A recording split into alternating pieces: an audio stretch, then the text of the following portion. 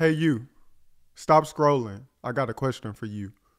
If God elevated you right now, could he trust you with the platform that he gives you?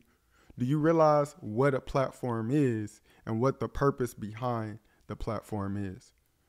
Well, as a speaker and a minister, I'm often on stages, on a platform, an elevated surface. The purpose of it isn't to make me look better. The purpose of it isn't just to draw attention to me. The purpose is to create an environment that no matter how close someone is or far, far someone is seated away from me, they can get the same or similar experience. Their hearing and sight line of sight won't be impaired by anyone because if I am elevated above them, everyone below me will be able to see me. But it's not really me that they need to see, it's the God and the Holy Spirit working through me. But if you put the wrong person on an elevated surface, they may start to think that it's about them.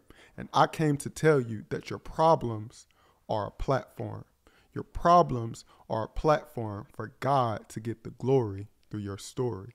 See, that diagnosis, you thought it was about you. It wasn't about you. That problem was a platform for God to get the glory through your story. You see, those financial woes, it's not about you. That problem is a platform for God to get the glory through your story. That lack of acceptance, self esteem issue, time in your life where you didn't want to live anymore, those problems were simply and merely platforms for God to get the glory out of your story. But when God does raise you up, because God does have a promise that He will make our names great, when God does give you that platform, are you going to forget who gave it to you?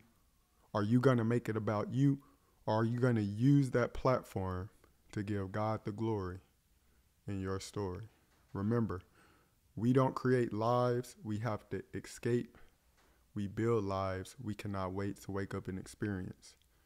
Type Amen if you receive this message. Peace and blessings.